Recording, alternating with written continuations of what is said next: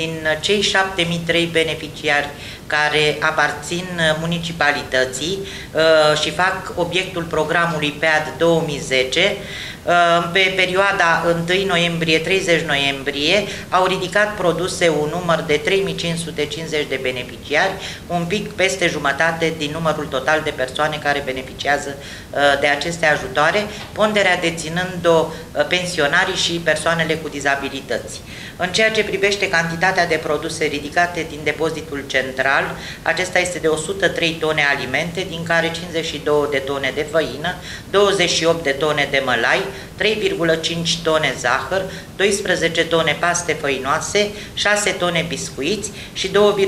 tone uh, lapte praf. Din această cantitate, uh, pe întreaga uh, perioada lunii noiembrie s-au distribuit beneficiarilor uh, celor în număr de 3550, aproape 100 de tone de alimente, 50 de tone de făină, 24 de tone de mălai, 3,5 tone zahăr, 4 tone de biscuiți, 11 tone de paste făinoase și 300 de kilograme de lapte praf, având în vedere că acesta a fost distribuit cu întârziere. Referitor la persoanele care au fost omise după listele inițiale,